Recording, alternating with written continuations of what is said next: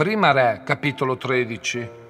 Un uomo di Dio, giunto da Giuda a Betel per ordine del Signore, mentre Geroboamo stava presso l'altare per bruciare incenso, e per ordine del Signore si mise a gridare contro l'altare a dire, Altare, altare, così dice il Signore.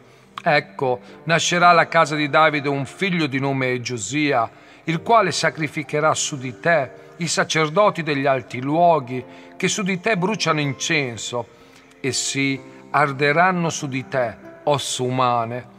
E quello stesso giorno diede un segno miracoloso dicendo, questo è il segno che il Signore ha parlato, ecco l'altare si spaccherà e la cenere che vi è sopra si disperderà. Quando il re Geroboamo udì la parola che l'uomo di Dio aveva gridato contro l'altare di Betel, stese la mano dall'alto dell'altare e disse, pigliatelo. Ma la mano che Geroboamo aveva steso contro di lui rimase paralizzata e non poté più tirarla indietro. L'altare si spaccò e la cenere che vi era sopra si disperse, secondo il segno che l'uomo di Dio aveva dato per ordine del Signore. Allora il re si rivolse all'uomo di Dio e gli disse, ti prego, implora la grazia del Signore affinché mi sia resa la mano. E l'uomo di Dio implorò la grazia del Signore e il re riebbe la sua mano che tornò come prima. Il re disse all'uomo di Dio, vieni con me a casa, ti ristorerai e io ti farò un regalo. Ma l'uomo di Dio rispose al re, anche se tu mi desti la metà della tua casa, io non entrerò da te e non mangerò pane né berrò acqua in questo luogo, poiché questo è l'ordine che mi è stato dato dal Signore. Tu non vi mangerai pane né berrai acqua e non tornerai per la strada che avrai fatto all'andata. Così egli se ne andò per un'altra strada e non tornò per quella che aveva fatto venendo a Betel.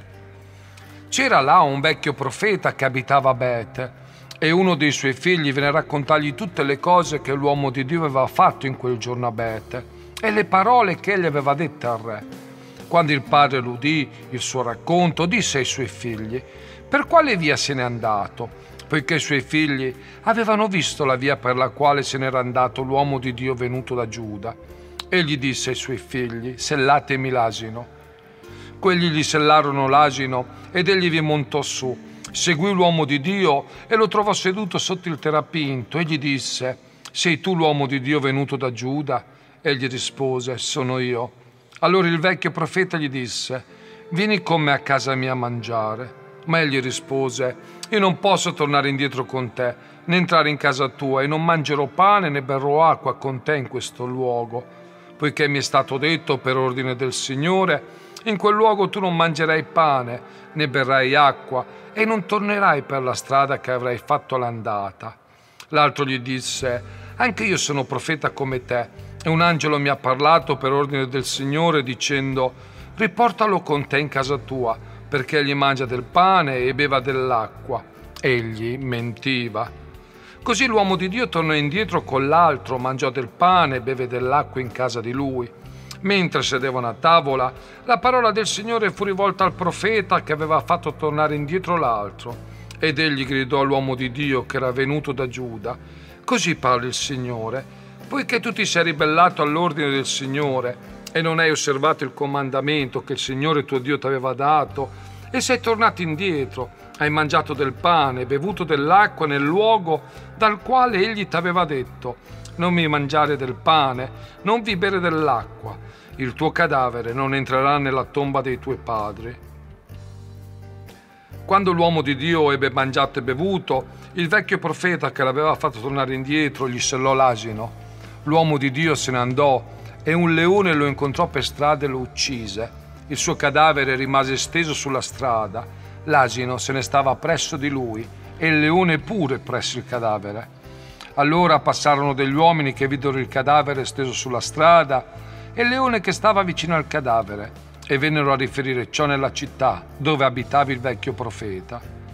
Il profeta che aveva fatto tornare indietro l'uomo di Dio, udito ciò disse, è l'uomo di Dio che è stato ribelle all'ordine del Signore.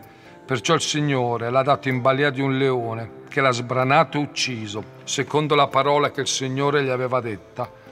Poi si rivolse ai suoi figli e disse loro, sellatemi l'asino. quelli glielo sellarono. Egli andò, trovò il cadavere steso sulla strada e l'asino e il leone che stavano presso il cadavere. Il leone non aveva divorato il cadavere né sbranato l'asino. Il profeta prese il cadavere dell'uomo di Dio, lo pose sull'asino e lo portò indietro. E il vecchio profeta rientrò in città per piangerlo e per dargli sepoltura. Depose il cadavere nella propria tomba ed egli e i suoi figli lo piansero dicendo, Ah, fratello mio! E quando l'ebbero seppellito, il vecchio profeta disse ai suoi figli, quando sarò morto, seppellitemi nella tomba dove è sepolto l'uomo di Dio. Ponete le mie ossa accanto alle sue, poiché la parola da lui gridata per ordine del Signore contro l'altare di Betel e contro tutti i santuari degli alti luoghi che sono nella città di Samaria si verificherà certamente.